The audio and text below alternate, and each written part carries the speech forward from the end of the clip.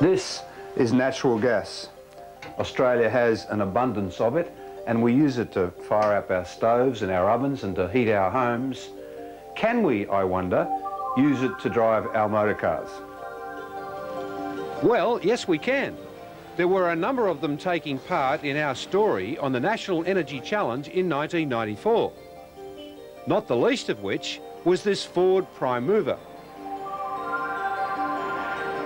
Now, Daewoo have built a natural gas version of their current Cielo to prove the production engineering viability of such a car.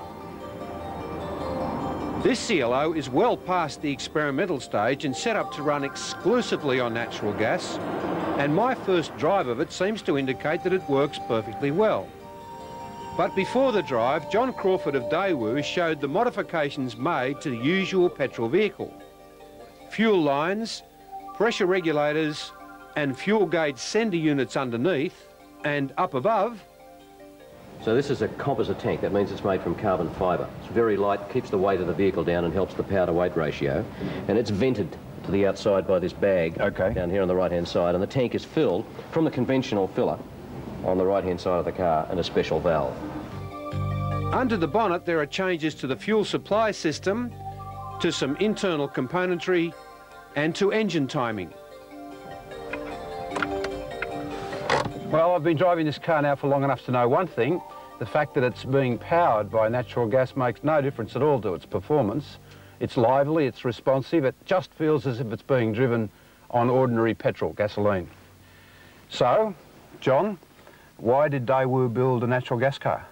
Well, in the search for lowering emissions, uh, the attempt was to have a range of power plants that produced the lowest possible gas emissions, and that's why we went for natural gas. Is it practical, though?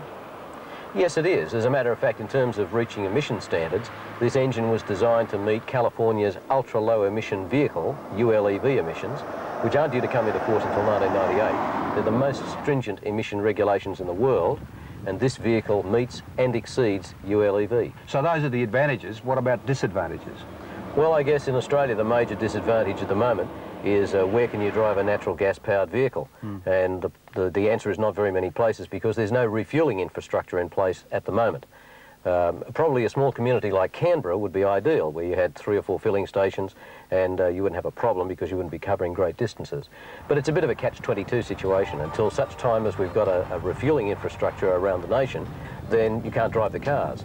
Uh, you can't introduce the cars until you get the, uh, the refuelling set up. Mm. And also, of course, uh, there's no point in, in bringing the cars in at that point. Uh, but there's certainly a possibility. They're a practical possibility. Why would we want natural gas-powered cars? Well, it's a cheap fuel, although our politicians would probably change that if it became popular.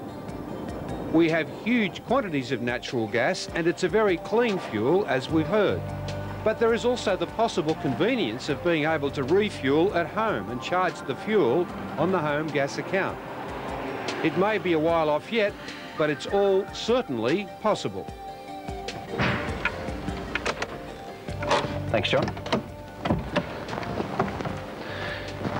Daewoo's venture into future technology is important for all of us, and not just because of the cost of fuel.